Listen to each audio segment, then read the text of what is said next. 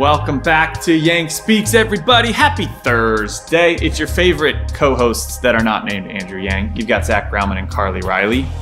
We are back on today's episode. We are talking about China is banning video games or limiting massively how many hours kids can play video games in their country, and it's fascinating. Elizabeth Holmes, founder of Theranos, is on trial, and we're talking about space junk. Finally, Finally, talking about space junks, or finally talking about Elizabeth Holmes? Finally, Elizabeth finally, Holmes. Elizabeth Holmes is on trial.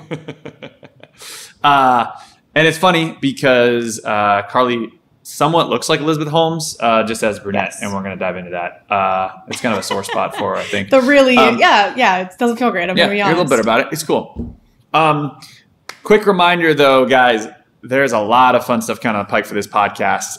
Andrew's book's coming out October 5th. Made some news this week that we're not going to talk about because Politico is just leaking stuff. They don't necessarily know what's going on. So they said there was a story that Andrew Yang may be starting a third party. No one knows. Hmm. No comment. I don't even know what they're talking about. Uh, all will be revealed when the book launches on October 5th. Uh, and more importantly, I'm still in mourning because the Bills lost this weekend. Carly's first trip to Buffalo, which we'll talk about. But uh, on more positive news, let's talk about China. China, China. Donald Trump would say. China. Um, so look, uh, Wait, can you? Can I just start off? So, because I think you understand this better than I do in terms of the the just like what exactly is going on. My outside perspective is China recently this week. I'll be curious, like when basically banned kids under 18 from playing more than three hours of video games just like countrywide or is this on a specific platform just, that's me framing what i so far know about this and i have a very strong reaction to that is this is that right am i correct here's what happened, and this is probably most of us have not.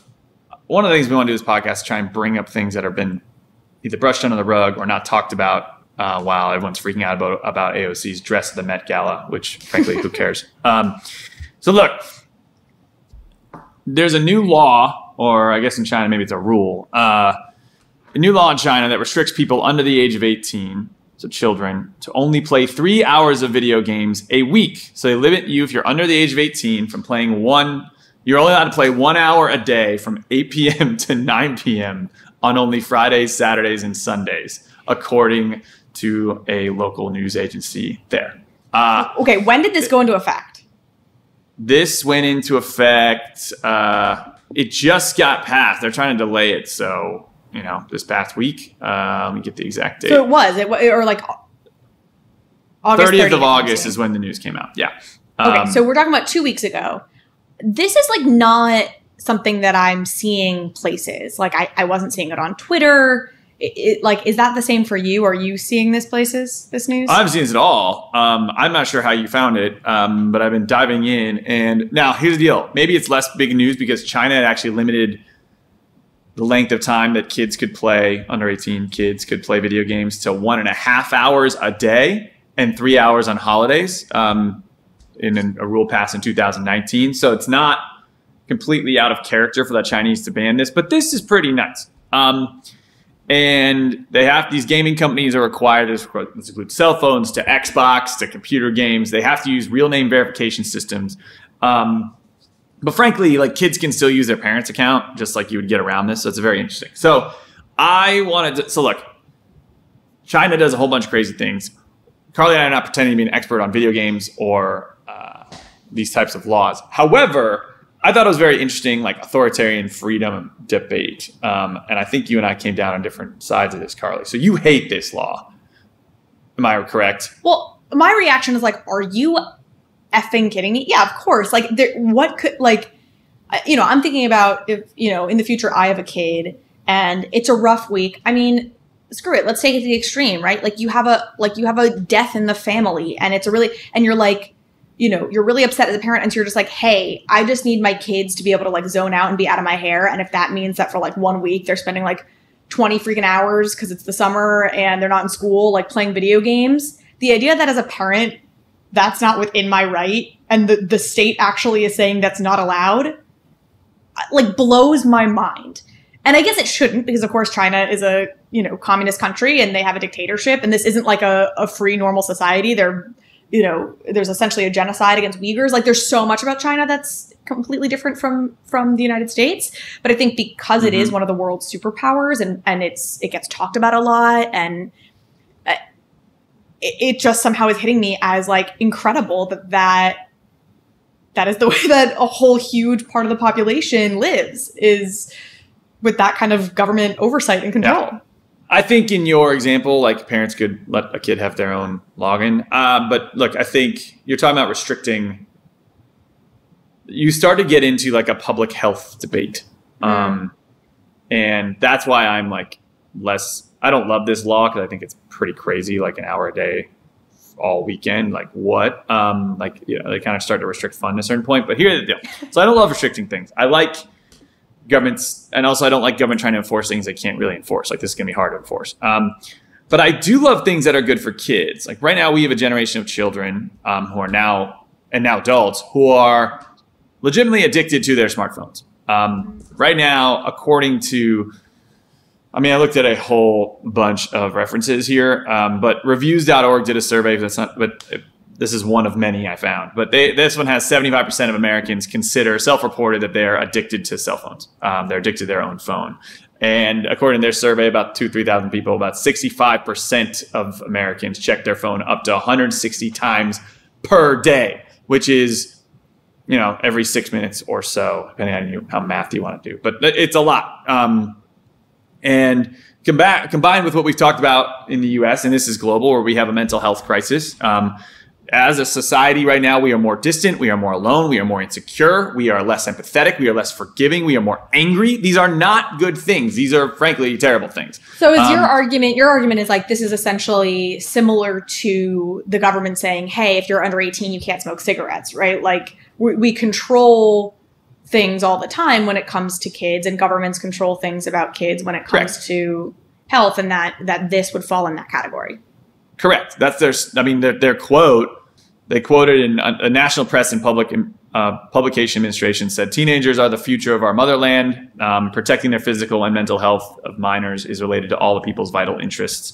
Um, so, look, this is a mental and public health move, and so here's the deal: like this is a this is a disaster, and it, like globally, it's not getting better. Right? This is like these things are accelerating. They're getting worse. They're not getting better. So we have a choice as a society. We can do nothing and shrug, or we could try and implement new things. So I don't support this law. I think it's too restrictive. Um, Do you know what is the enforcement mechanism for this? Like how do they actually control this? so they use gamer verification services, and they require the companies to do it. And so um, they require you. I don't know mechanically. We'd have to talk to somebody who's um, you know, uh, probably a minor who's growing up in China right now. Um, but uh, you know, you have to have a legitimate account um, tied to yourself for your gaming account, um, which comes a whole outside another challenge. I'm not saying this is easy to enforce, but my, my point is I'm plotting that they're trying to do something. Like they didn't make video games illegal; they restricted how much you play as a child.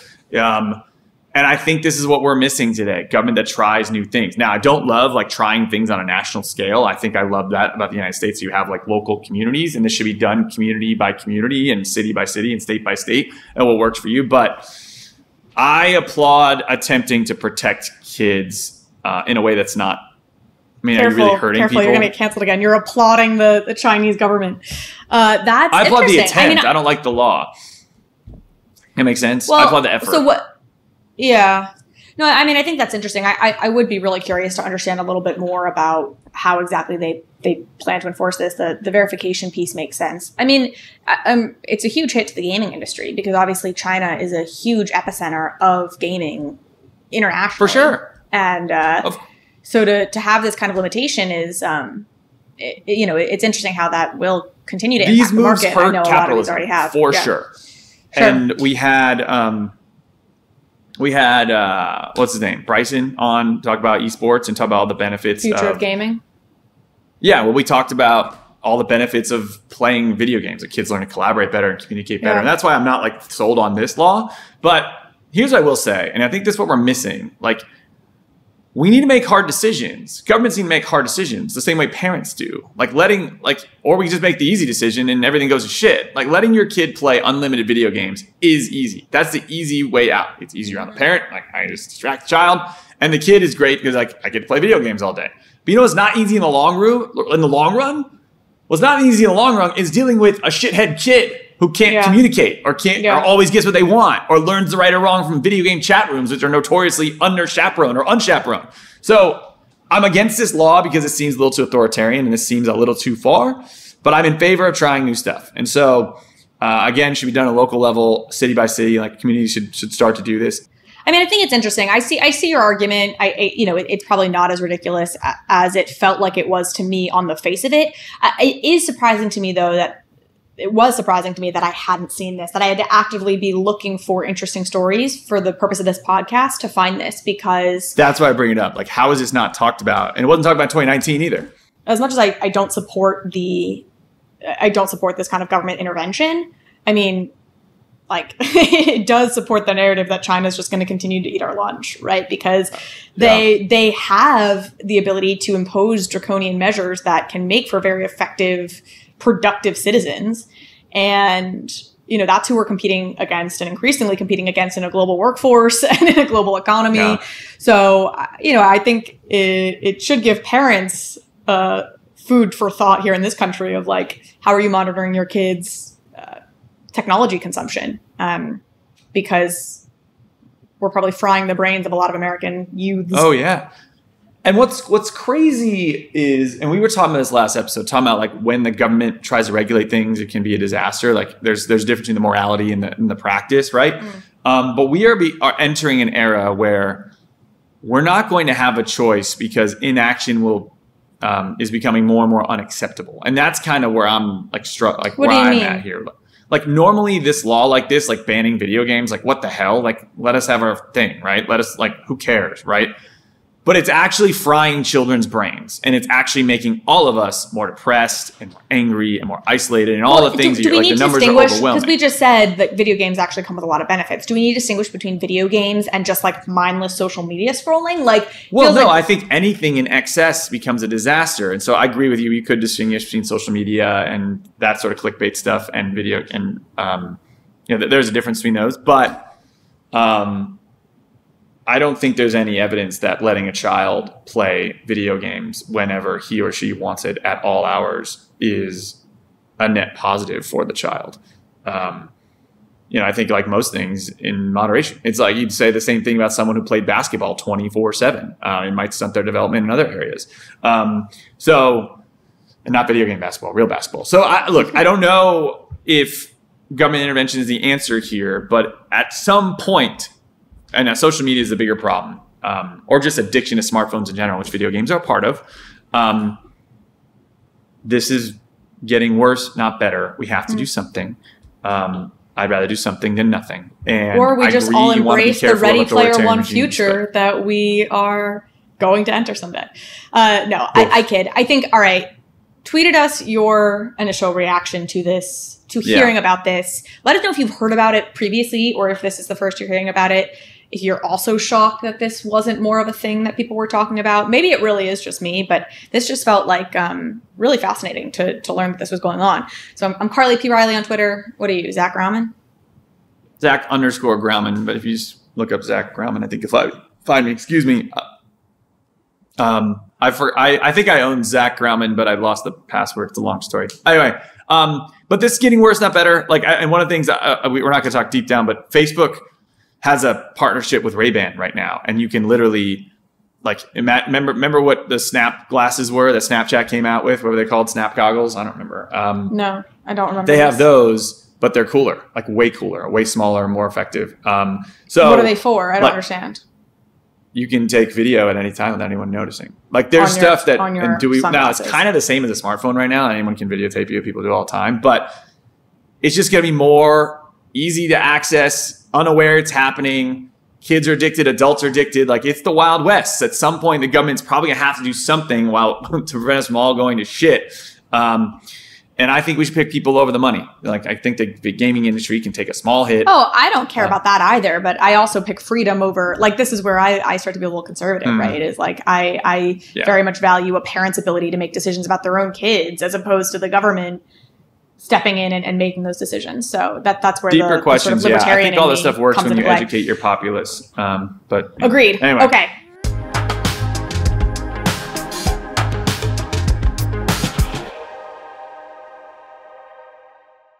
Real talk, how is your mental health? If it's like mine, probably not that great. I'm losing my mind post COVID, getting a little better. And the reason I'm getting better is because of our sponsor, BetterHelp, which is amazing, secure, and well, frankly, fairly priced counseling done securely online. So you can start communication and get paired with a licensed professional on a safe, private online environment that's super convenient within 48 hours. It's not a crisis line, it's not self help, it's professional counseling done securely online. You can talk to your counselor anytime, you get timely and thoughtful responses. I love my counselor, it's freaking awesome, and you can get advice on depression or anger or stress or family conflicts, whatever you're going through. BetterHelp is freaking awesome and it's confidential, convenient, professional, affordable, all the things you need done conveniently online. So I want you to start living a happier life today. And as a listener, you're going to get 10% off your first month by visiting our sponsor, betterhelp.com slash yang. So join over 1 million people who take in charge of their mental health. Again, that's betterhelp, H-E-L-P dot com slash yang. Sports have long been an important and defining part of our history. With their impact and influence, key moments in sports have helped shape, heal, and inspire.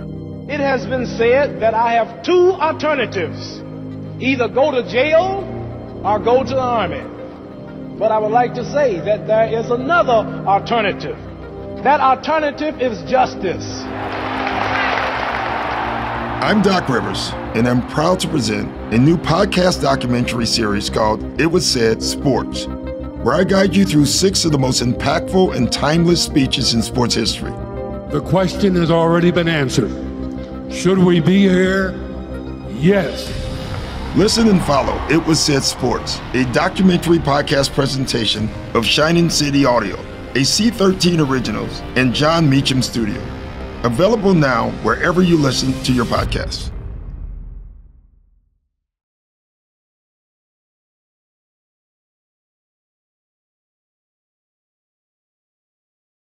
Okay, Elizabeth Holmes. Uh, yeah, this one this one's personal because I, I do I don't know in this particular moment in this particular video if I if I'm going to come across as looking like her, but there there is a, a certain level like of this. resemblance there. What do you mean? If you do this, Well, no, no. Elizabeth you really Holmes, want to right? know what it is? It's my jowls, right? Like I have sort of Your a, yeah, I have a, a heavy bottom weighted face. You can't really tell it your necessarily. eyes now, are similar. I don't know about the nose. The eyes, it's the jowls, it's the you know whatever. They're worse you- people to be if you Google image wise. her, well, sh- she's I think engaged still to like a multi-millionaire, billionaire, like hotelier or something. So she's doing just fine. Oh, that's surprising. Um, she loves a fancy life. Okay, let's talk about Elizabeth Holmes. For those of you who don't know, So backstory on Elizabeth Holmes. I mean, I'm sure most everyone knows Give me a roughly quick- the story of Theranos, but I'm going to give you the quick, 30 the quick rundown. rundown. And and I will say, if you are interested, if you like like like big, huge cons in the corporate world, this is a great one. And the book, um, I think it's called Bad Blood by John Carreyrou.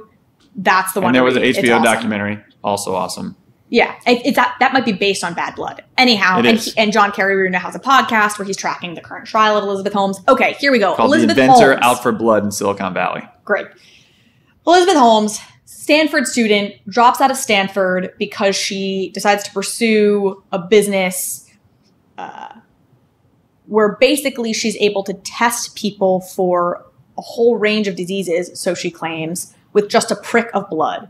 So she sets mm-hmm. out to say, how can we revolutionize like blood, the blood drawing industry? Because as anyone knows, right now you get your blood drawn to test for all different things, and that process is like kind of horrible. I actually am like Quest mildly phobic around it. sucks. Yes, we've all dealt Yeah, with it in COVID. and- and, Those you know, testing sites so- suck. They they with they you know it's like a needle in your arm. They put this tourniquet around you. Like it's it's a pretty It takes awful forever, experience. tough to read, takes expensive. forever, lots of cheap. blood. It's awful. So she was Yeah. like, "We're revolutionizing this now. We're gonna just disrupt a, prick, it. a pin prick of blood. we can test for all the things that you used to have to get a whole blood draw for. So she's mm-hmm. like, I believe, 19 years old when she drops out of Stanford to start pursuing this. She was a biotech, whatever, major at Stanford.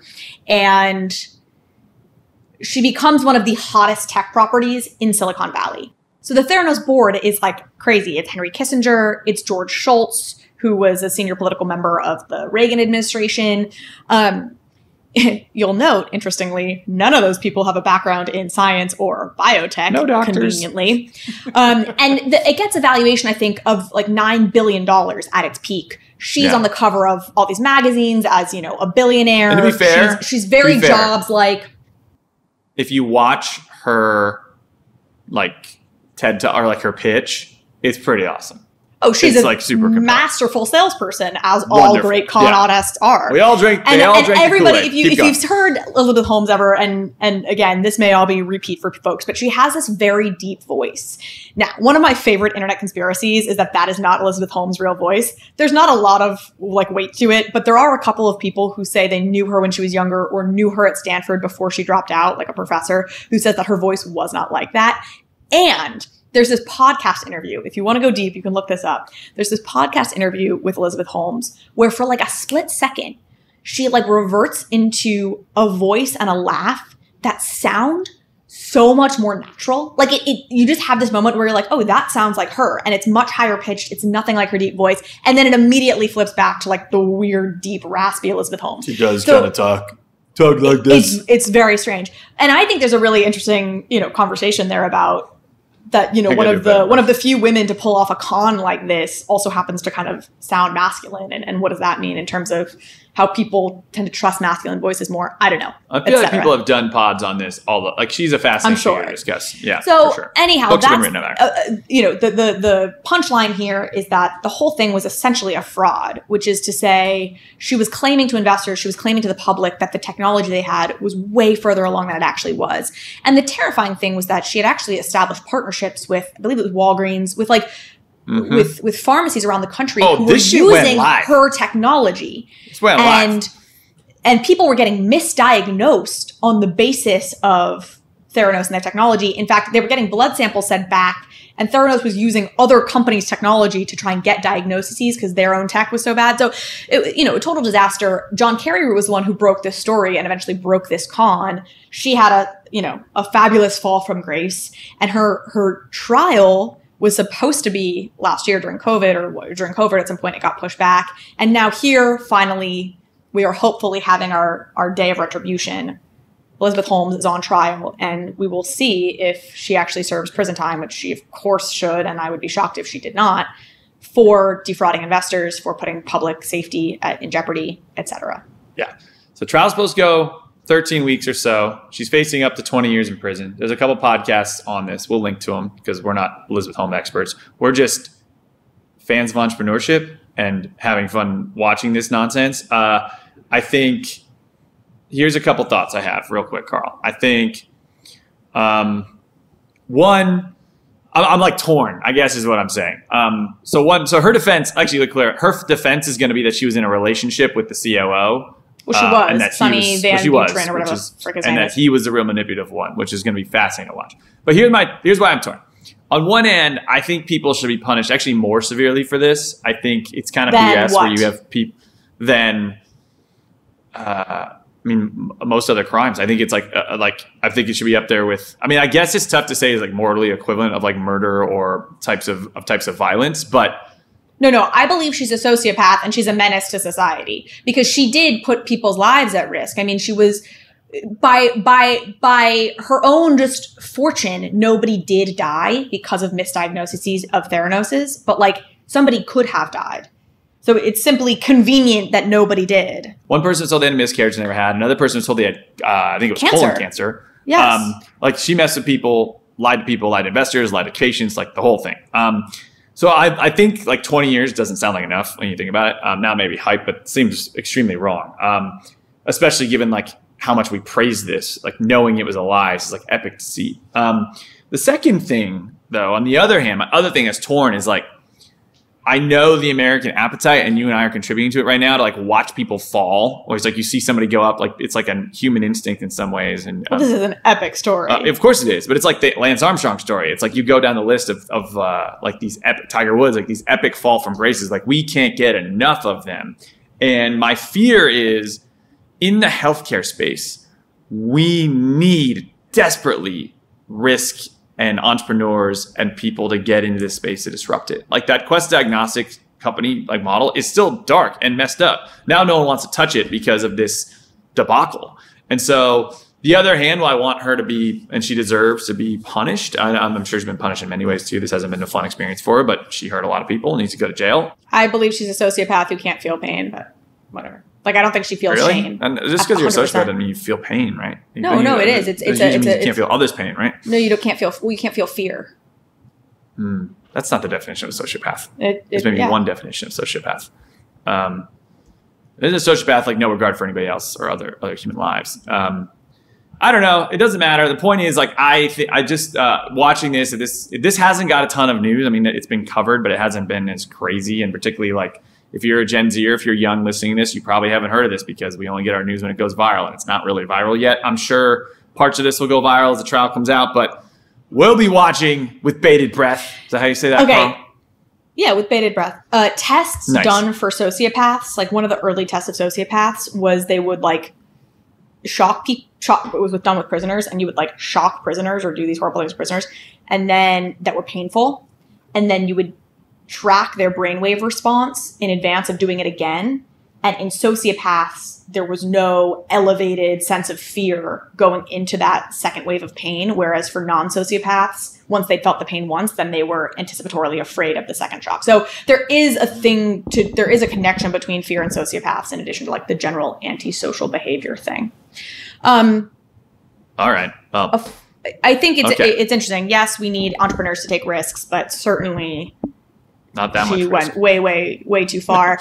A You fun fact about Elizabeth Holmes is that her father worked for Enron, which was one of the other major corporate, like just. Do we know if he was involved in like actual No, Enron he was scandals? not. He was he was too low on the totem pole. But interesting Dang. that you know she saw what happened to Enron, and her father lost his job at Enron as a result of obviously Enron imploding. then said, For you know I'll who go don't into know- fraud.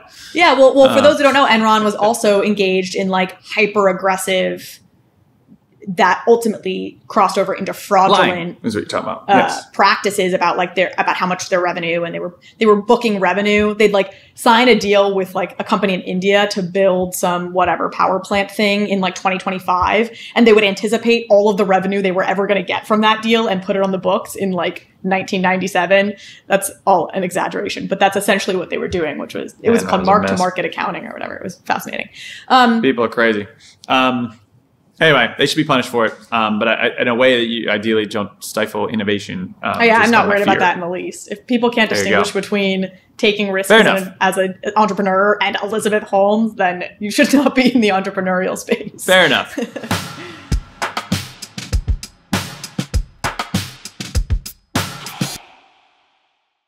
Whether you realize it or not, you're likely way more creative than you think. And in a world where we're all sort of geared towards being a little more science than art, I think it's important to bring out your creative side, which is why we chose to have Skillshare as one of our sponsors on this podcast because they help you bring out your creative side. So you can take a class to learn to be more creative in a whole bunch of different areas. Right now, this is ridiculous, but it's pretty cool. I'm taking a class on indoor gardening and how to grow houseplants because frankly, my New York City apartment could use a little more energy. Yeah, that's probably a good way to put it. Anyway, you can take classes on how to edit YouTube videos or how to do portrait photography or how to do video on Instagram. There's a ton of different things, whether it's a hobby or a side hustle or just a way you want to learn to do more things. Skillshare is pretty freaking awesome. And it's incredibly affordable, especially when compared to pricey in person classes or workshops. An annual subscription is less than $10 a month. So right now, I want you to explore your creativity with Skillshare.com slash Yang. So go to Skillshare.com slash Yang and get one month free trial of a premium membership. That's one month of a premium membership at Skillshare.com slash Yang. Become a little more creative, better yourself, Skillshare.com slash Yang.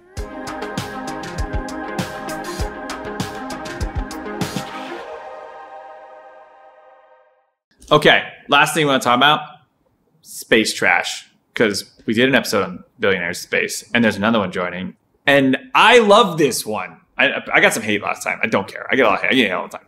Um, but we did an episode on billionaires in space. So Dalio did this one.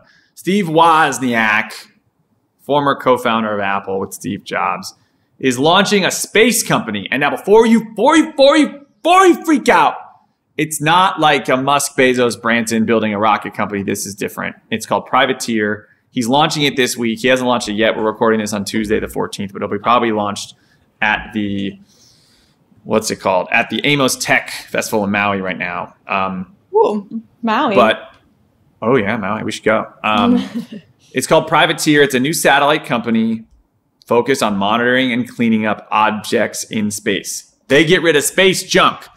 And then I went down the rabbit hole, Carl.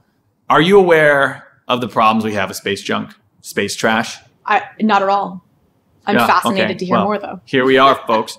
Um, I'm not an expert on space junk, but I have read five articles from different sources um, and used my critical thinking skills to bring this to you, Yang Speaks audience. So here's the deal space has become a dumping ground for dead satellites um, and launch vehicle rockets. Basically, it's the Wild Wild West. People like putting shit up there and just leaving it. Um, uh, and it's not just like companies, like, you know, I, you know, any you know, media company throws a satellite up there. Google probably has a bunch of satellites up there. And, you know, they get old, they launch new ones, and they let that one keep ordering the Earth.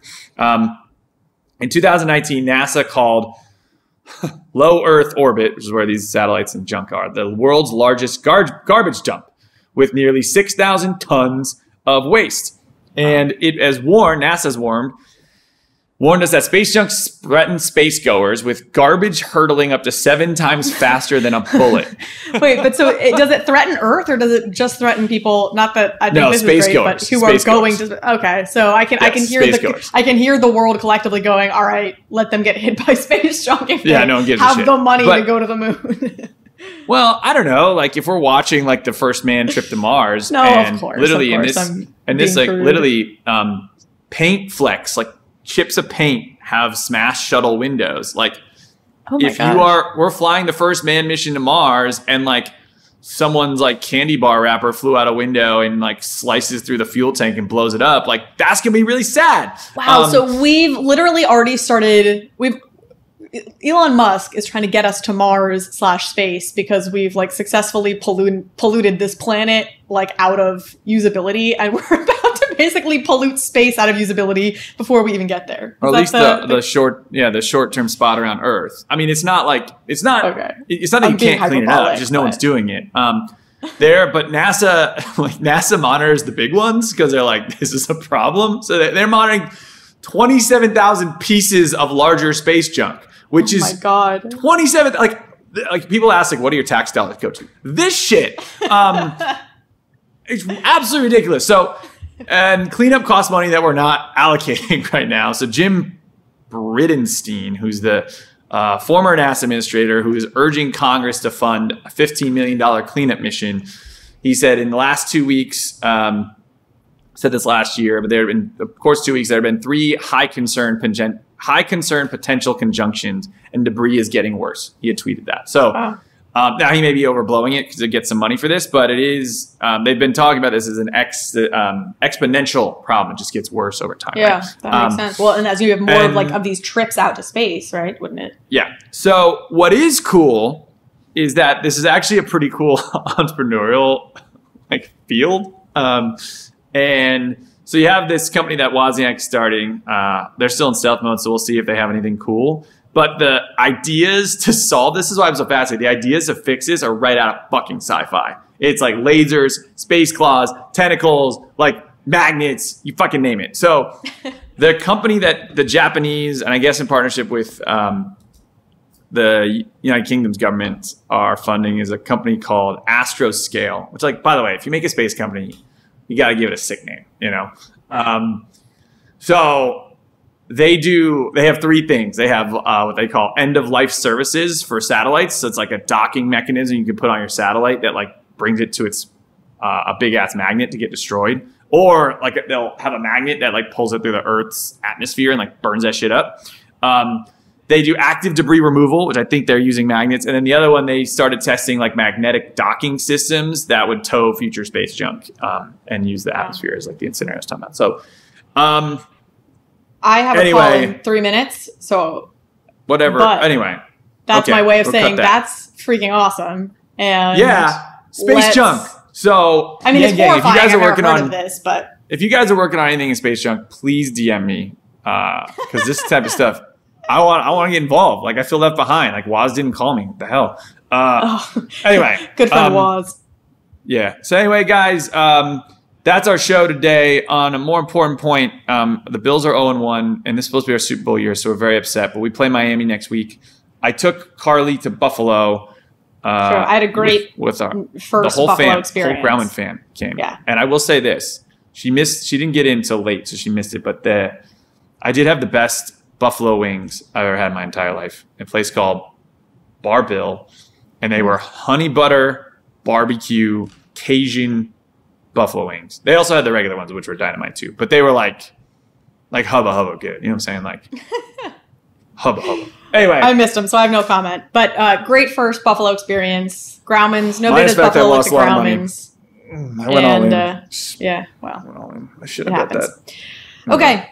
Thank you all. We love you all. We love you guys. We're so More grateful. stuff coming down. Thanks for continuing to listen. And uh, we'll keep you posted. More yeah, stuff coming down the we'll- pike. See you we'll next Thursday. next week. Bye.